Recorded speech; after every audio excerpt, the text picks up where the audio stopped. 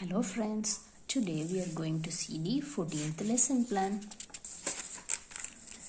So, fill up the details class standard 8 unit organization of life and topic human body process. Okay. Instructional objectives the pupil acquires the knowledge of the various functions of organizational setup. Understands the process that helps to keep the system balanced.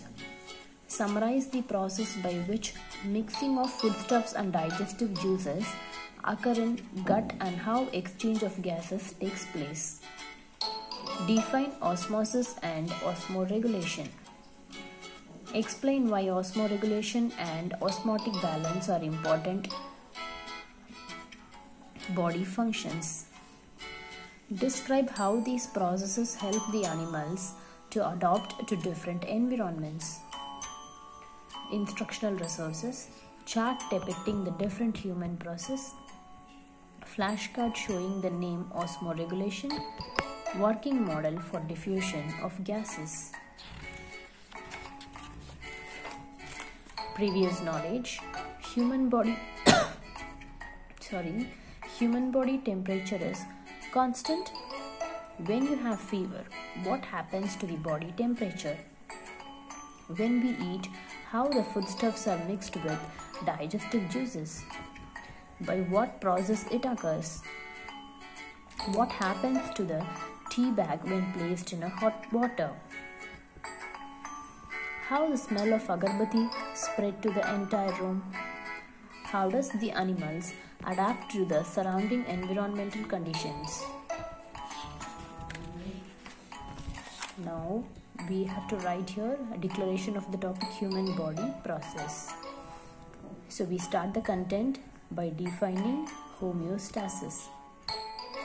It is a self-regulating process that tends to maintain the balance for survival process of integration and coordination of function are mediated by nervous and hormonal system.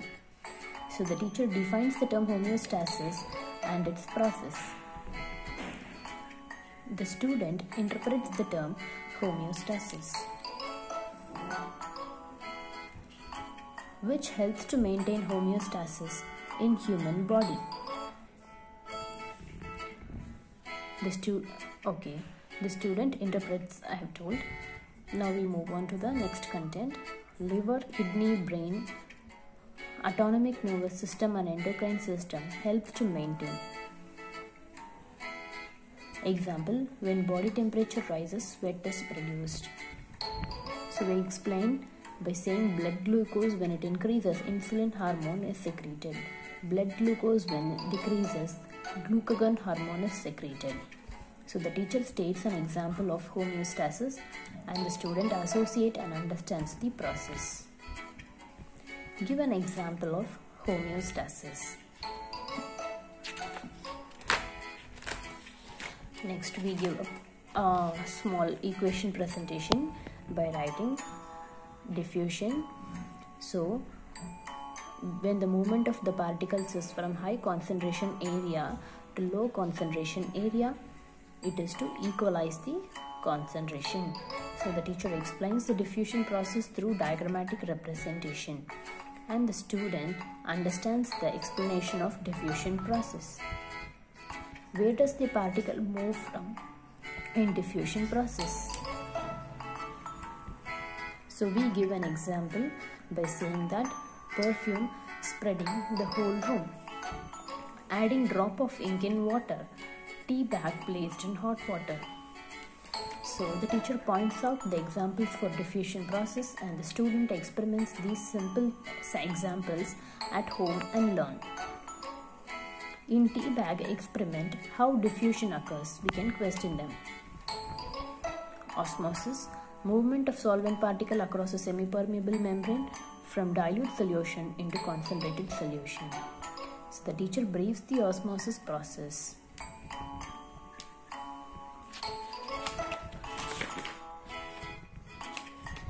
And here we say the purpose to equalize the concentration on both sides of the membrane So the student follows the process explained by the teacher. And we ask the question like why does the particle move from diluted solution to concentrated solution? So now we move on to the types. Three types of situations are isotonic, hypertonic and hypotonic. First, isotonic concentration of external and internal solution are the same. Hypertonic external concentration is greater than internal concentration of the organism. Hypotonic external concentration is less compared to the inner solution. So the teacher here distinguishes the types of situations in osmosis. Okay, so the student interprets in different situations and understands. Define the osmosis in different situations.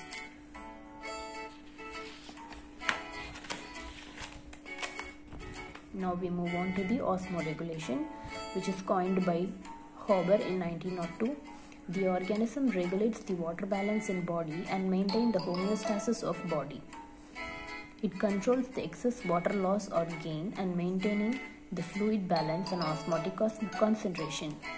So the teacher defines the osmoregulation process and the student listens to the osmoregulation definition. What is the main purpose of osmoregulation? So we move on to the types of osmoregulation as osmoconformers, osmoregulators. Osmoconformers maintains the internal molality matching with surrounding. Osmoregulators maintains the internal molality different from that of surrounding through physiological process. So the teacher describes the different types of osmoregulation process and the student understands the difference between the osmoconformers and osmoregulators. Describe the types of osmoregulation. Now we move on to the recapitulation part. What is the main purpose of osmosis? Describe the types of osmoregulation. Give examples of homeostasis.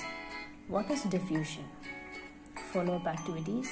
Place a tea bag in a cup of water that is hot. Note down the observation. Find out more examples of homeostasis.